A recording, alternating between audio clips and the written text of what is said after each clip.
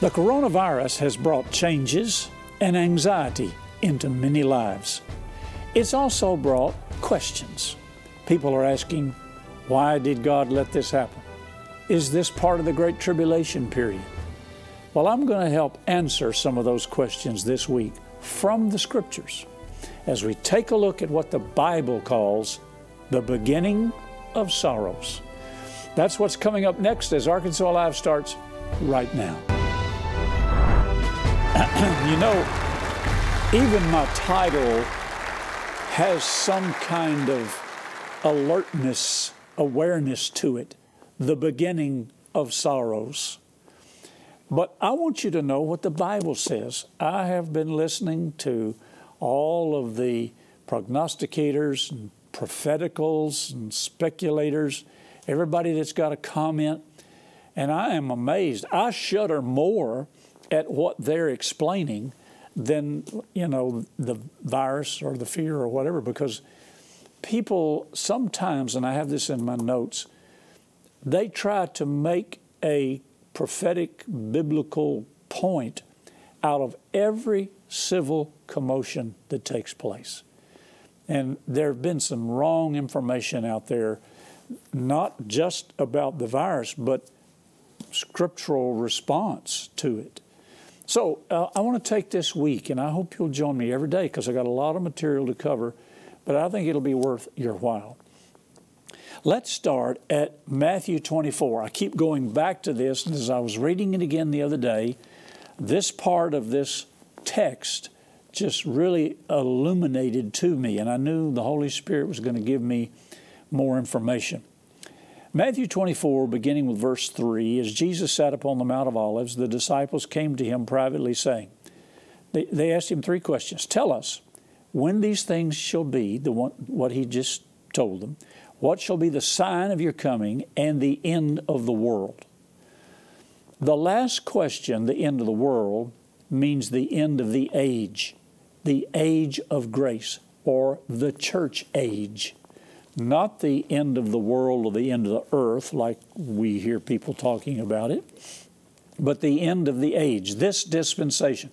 When's, what's going to happen? When is the end of the age uh, going to take place? And Jesus answered them. And he said, Take heed that no man deceive you. I'd highlight that, underline it, and nobody deceive you. Then he tells them what they're going to hear and see. You're going to hear of wars, rumors of wars, but see that you be not troubled.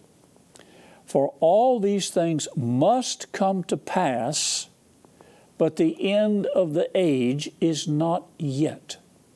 The end of the church age, the end of the age of grace, is not yet. Now, notice when he says all these things must come to pass, he sometimes leaves that up to your understanding of the scriptures. And what I found out during this whole period, this virus period, the church, by and large, doesn't understand much of anything. They're probably more um, receptive to their denominational doctrine, uh, the carnal aspects, the human aspects, the medical aspects Uh, and they don't really know what the scriptures say. They don't really understand this, and that's why I'm, I'm teaching it. We are in what Jesus called the beginning of sorrows. What does that mean? If you'll stay tuned all week and you hear this, you'll be more knowledgeable than most Christians and you'll understand what's happening. And I'll expose some wrong theories, match them up with the Bible, see what they say. If a theory or a speculation or a doctrine can stand up to the scriptures, fine. But if it doesn't, throw it out. He said these things must come to pass. Um, and then he goes on and says, um, uh, Many will come in my name, saying, I'm Christ, and will deceive many. And you'll hear of wars, rumors of wars. See that you be not troubled. All these things must come to pass, but the end is not yet. Then he goes down and describes some of the things that are going to take place. Nation will rise against nation, kingdom against kingdom. There'll be famines, pestilences, earthquakes in diverse places. All these that he just named are the beginning of sorrows. Now, let me explain that to you. Uh, you can look this up, you can follow it in your scriptures, but I, I want to read you some of my, uh, my notes. The beginning of sorrows is mentioned in Matthew 24, Mark 13. It's a period of time characterized by specific signs that the second coming of Christ is near. I'm going to share with you something that Oral Roberts said. I think this was probably 203, 204, might have been later. He had a vision, and the Lord really ministered to him concerning this statement. These are signs that specifically indicate that the second coming of Christ is near. These signs also cause an increase in pain and sorrow that the Bible likens to a woman as she goes through her pregnancy and is about to give birth, the beginning of sorrows. The analogy of a pregnant woman in the end of times is drawn from the Old Testament. Isaiah 13 describes the day of the Lord prior to a woman giving birth. She experiences painful contractions. The culmination of the sorrows are birth pangs. It's an easy way to remember it. The beginning of sorrows are birth pangs. Birth pangs that take place at delivery when the pain of childbirth is most intense. After that, there's the joy that the child is born.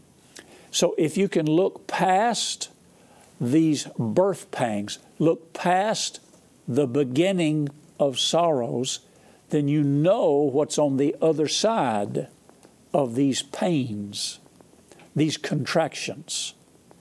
These are the words of Jesus the beginning of sorrows. This is the beginning of the birth period. This is the time of contractions. But on the other side, after the birth takes place, there's going to be joy unspeakable and full of glory. Now, we want to examine this fully. Um, as with a woman that's about to give birth, uh, the time from the beginning of sorrows until Jesus' return, establishing his eternal kingdom, will be characterized by increased pain and sorrow. Now, listen very carefully to this. Culminating with the utter destruction when God judges the nations, not the church, when God judges the nations, the ungodly nations, not the Jewish nation, the ungodly nations, the heathen nations. And in doing so, he destroys the beast's antichrist system.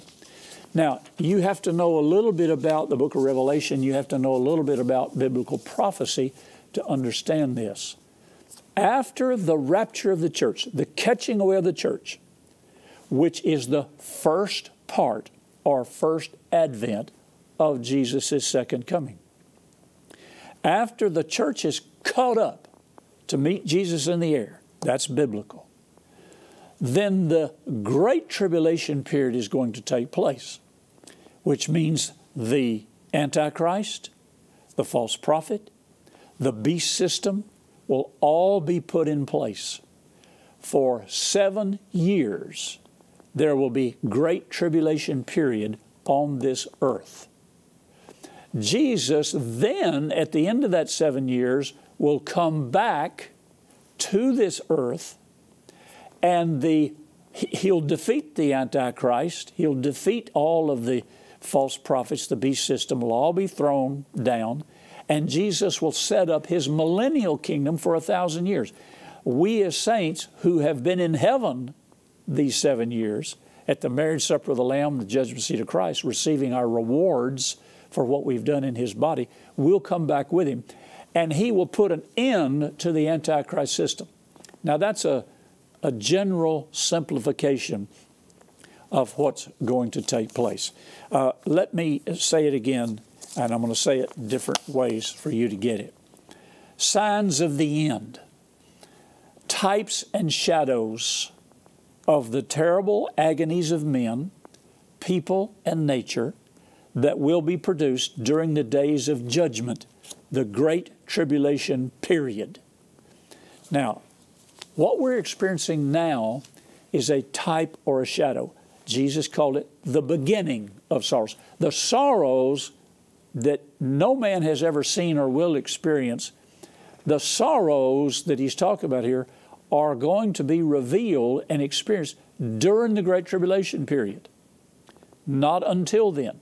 What we're experiencing now with pestilences, earthquakes, hurricanes, tornadoes, all these things, famines, you're going to be shocked at some of the things that the Bible says are pandemic, which means a global exposure to these pains, these uh, contractions, these birth pains.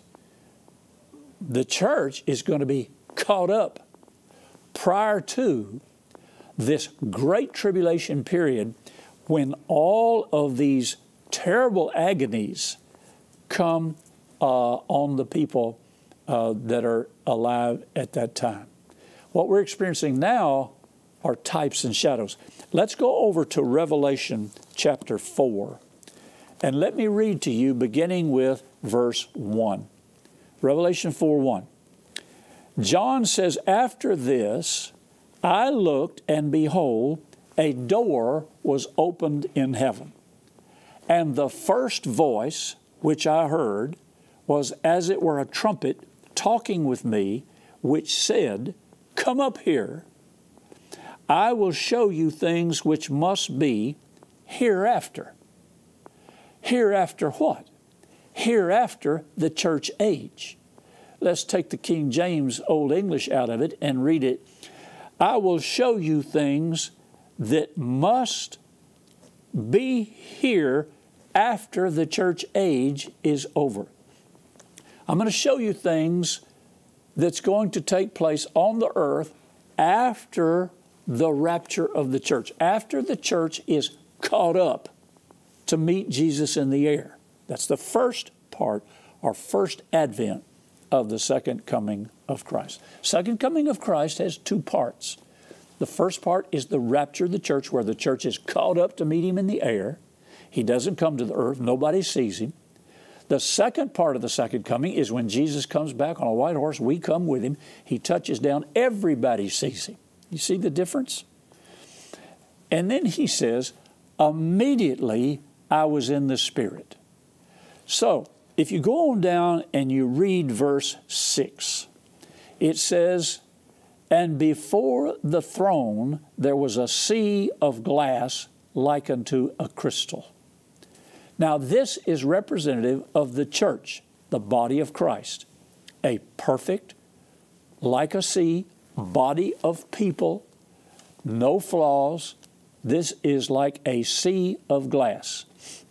This is the church. Singing a song, casting their crowns before the throne, saying, and it has to be the church because there's nobody else that's referenced here that will have crowns. There are, I think I taught on this one time, there are about seven crowns that are made known in the Bible. So these, uh, this sea of glass, this great glass of people, is singing, Thou art worthy, O Lord, to receive glory and honor and power, for you have created all things, and for thy pleasure they are and were created. So all of this worship to the Lord Jesus by the church where does this take place? Where are we? Where is the church? Revelation 4 we are in heaven worshiping the Lord. We are in heaven receiving the Lord's Supper, the marriage supper of the Lamb. We're in heaven receiving the rewards for what we've done in His body while we were on this earth. Now, go over to Revelation 6 and John goes on. Remember, John was, uh, all this was revealed to John Uh, and the scripture in the beginning of Revelation says, I will show you things that have been, that are, and that shall be. So he's looking at past, present, and future. Uh, Revelation 6 1.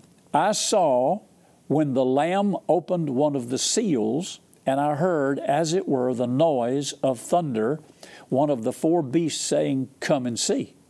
And I saw and beheld a white horse. He that sat on him had a bow, and a crown was given unto him. He went forth conquering and to conquer. And when he had opened the second seal, I heard the second beast say, Come and see. And there went out another horse that was red. These are the four horsemen of the apocalypse. And the power to take peace from the earth, and they that should kill one another, there was given uh, a sword. And when he had opened the third seal, I heard the third say, Come and see. I beheld a black horse. He that sat on him had a pair of balances in his hand. And I heard a voice in the midst of the four beasts saying, A measure of wheat for a penny, and three measures of barley for a penny, and see that you are uh, that you hurt not the oil and the wine. And when he had opened the fourth seal, I heard the voice of the fourth beast say, Come and see. I looked and behold a pale horse, and the name that sat on him was Death and Hell. Verse 9 The fifth seal, I saw the souls of them that were slain for the word of God. And uh, verse 10 And they cried with a loud voice, saying, How long, O Lord, uh, true, holy and true, dost thou not judge and avenge our blood? And verse 11 And white robes were given unto them. Uh, that was said unto them that they would rest for a little season. Verse 12 I beheld when he had opened the sixth seal, and there was a great earthquake. The sun became black as sackcloth of hair, and the moon became as blood.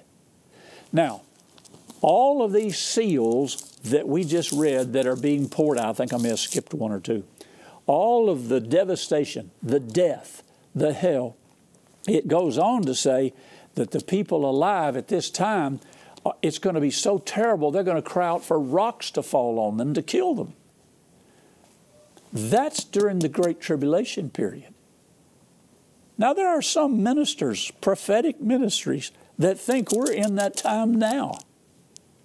They are misguided, they are misrepresenting the scriptures. Now, whether they're doing it in ignorance or for speculation's sake or to sell books, I don't know. I can't judge them.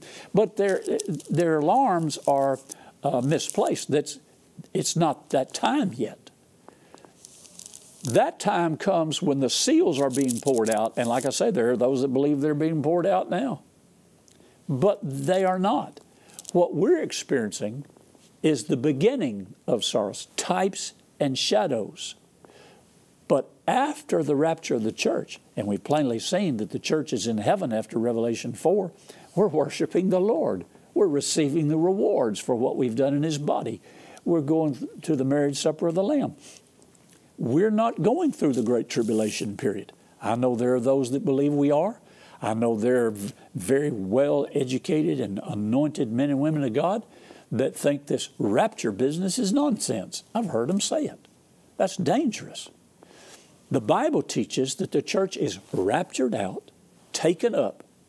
In Revelation 4, we're in heaven worshiping the Lord. Then the Great Tribulation, with all of these agonies on men, people, and nature, that will be produced during the days of judgment, the Great Tribulation period, where the measure of the judgment is poured out on the people. But note, after Revelation 4 1 through 11, the church is in heaven.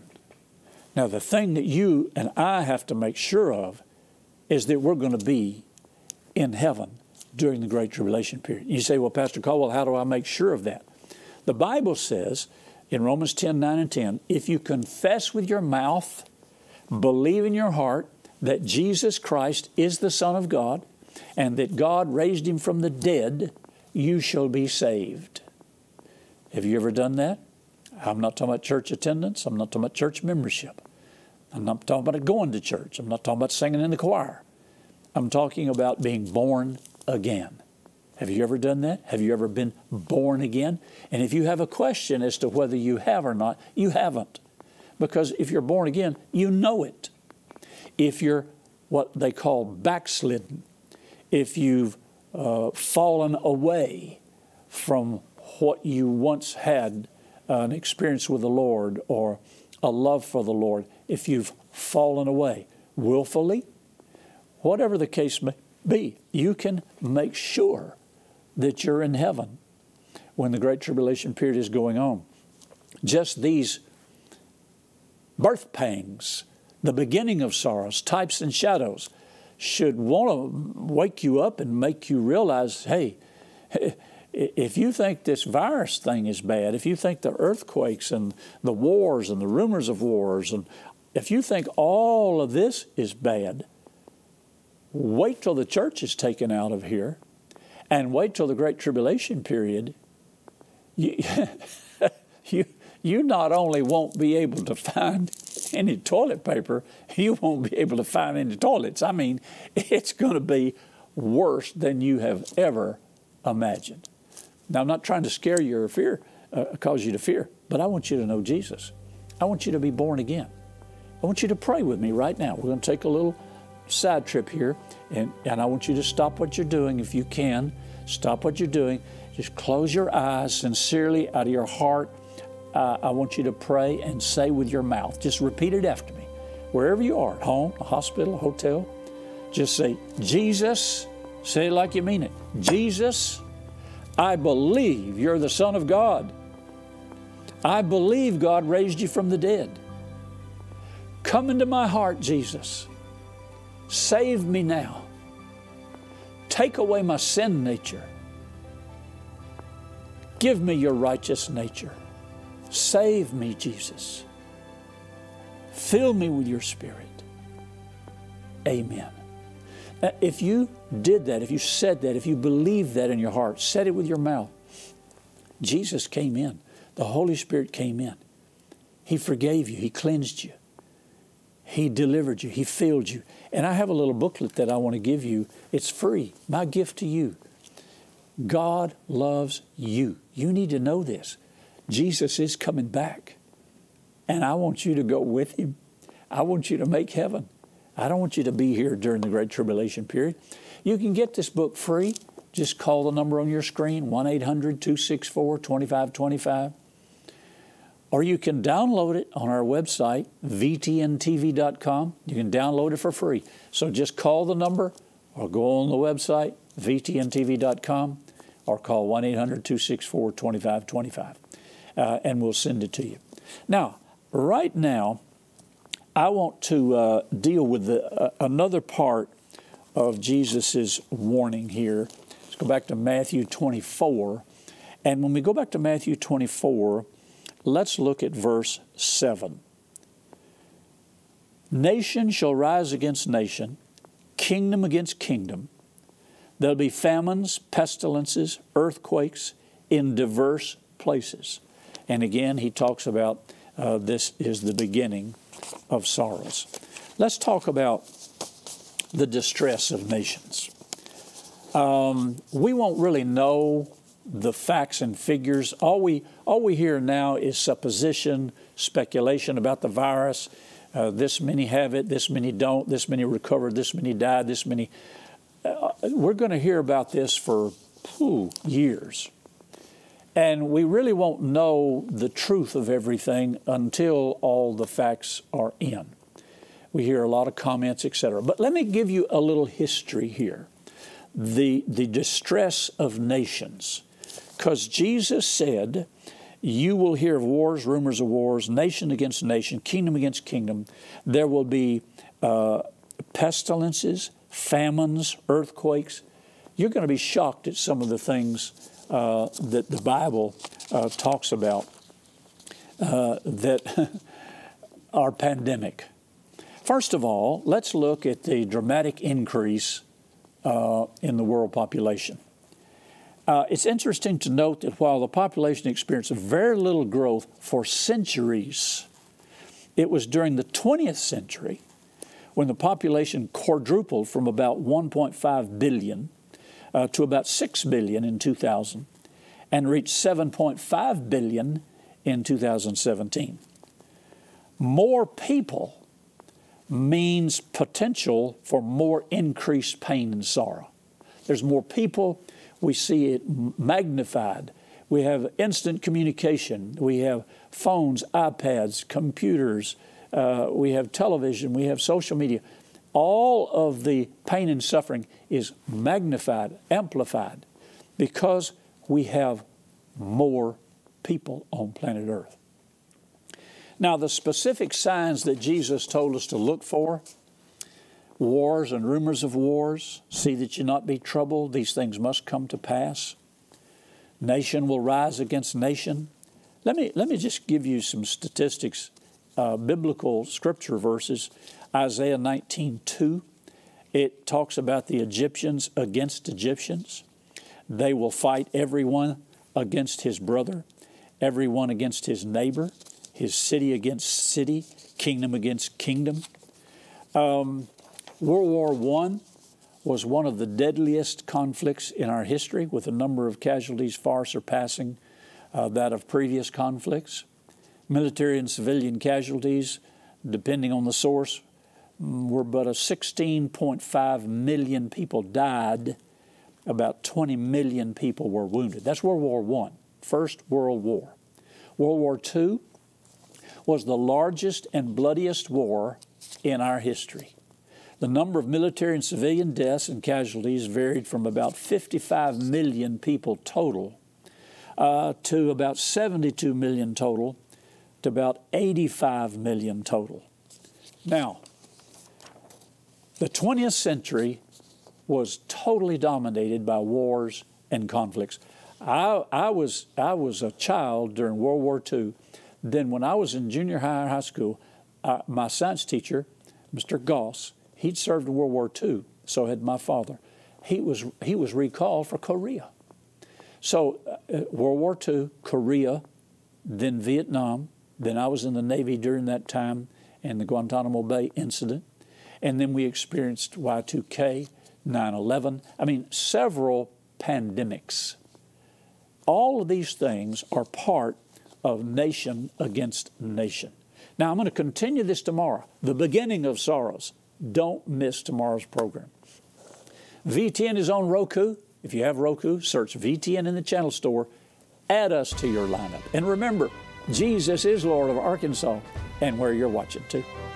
Send your questions, comments, and testimonies to Happy Caldwell at Post Office Box 26207, Little Rock, Arkansas 72221, or email happycaldwell at vtntv.com. Remember to follow VTN on Facebook at VTN Your Arkansas Christian Connection and follow Happy Caldwell on Twitter at happy underscore Caldwell. Today's episode is available to watch on demand at VTNTV.com and click Watch. You can also watch VTN via live stream at VTNTV.com.